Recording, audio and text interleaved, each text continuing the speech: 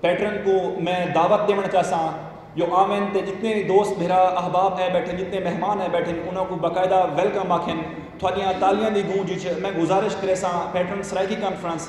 Sir doctor Shahid Masood صاحب۔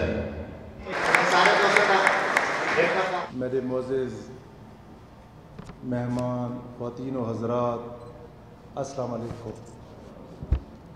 Gandhara Hindko board کے پی کے دے زیر تمام اج وطنہ دے وچ دوجی سریکی کانفرنس دا انعقاد بے شک میرے واسطے بھی تے اسا سارا دے واسطے ایک فخر تے خوشی دی گال ہے جویں زندگی دے بہوں رنگ ہونے ایک اہم رنگ زندگی دا علم تے ادب تے ثقافت دا رنگ بھی ہے تے آج دی کانفرنس دا رنگ ایو ہے ہر شے کو بالا تر تھی کہ صرف علم تے ادب دی گال کرن واسطے اج یہ کانفرنس منعقد کیتی گئی ہے۔ تے سرائکی زبان دی ترقی تے ترویج این کانفرنس دا نام ہے۔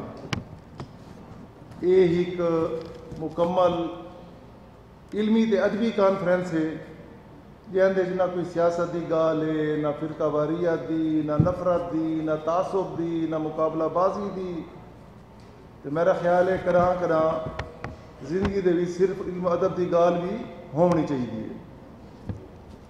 آج دی کانفرنس دے وچ سارے بہت سارے معتبر مکالہ نگار سرائکی زبان، ادب تے ثقافت دے مختلف رنگاں دے متعلق گال کرے سن۔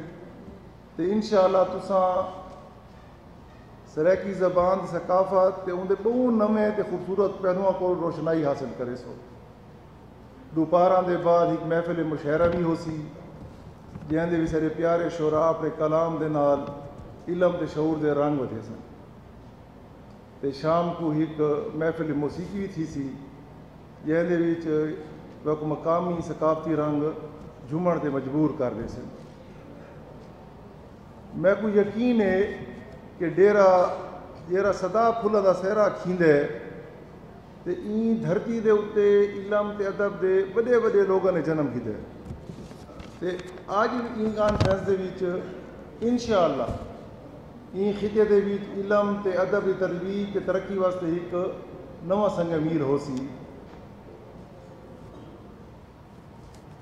علم تے ادب دی گال کرن والے تے علم تے ادب دی گال سنن والے دوئیں بہت سونے دل تے دماغ دے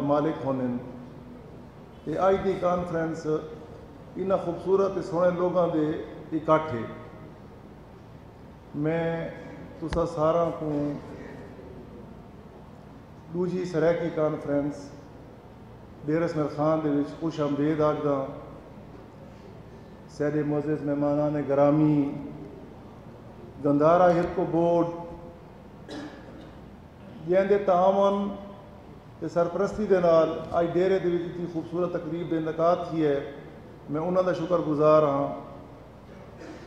جناب چیئرمین اجاز احمد قریشی صاحب، ڈاکٹر عدنان گل صاحب ضیاء الدین صاحب، تے اپنی ساری مقامی آرگنائزنگ ٹیم، لالا یاسین صاحب، فاروق عادل، تابع صاحب، تے وہ سارے دوست جنہ محمد اسلام عوان صاحب دی قیادت دے وچ این کانفرنس دی بھرپور کامیابی واسطے جنی رات محنت کی تھی۔ تے سارا کل وقت کے تسا سارے معزز خواتین و حضرات جنہ شرکت کر کے سارا مان ودھایا ہے تو آون سی رکھیاں تے اللہ کرے کہ وطنہ دے اتے شعور تے آگہی تے محبتاں دا سفر ہمیشہ جاری رہے سارے وطن نے بڑے دکھ ڈٹھے اللہ کرے ان وطنہ دے بیچ ہمیشہ خوشی تے امن دا راج ہوئے۔ آخر تے بس میں یہ دعا کرے ساں۔ ہائے درد نہیں آندا لوگاں کو۔ اللہ وساوے انہاں جھوکاں کو۔ تو سارا دے آون دی بہت مہربانی۔ شکریہ۔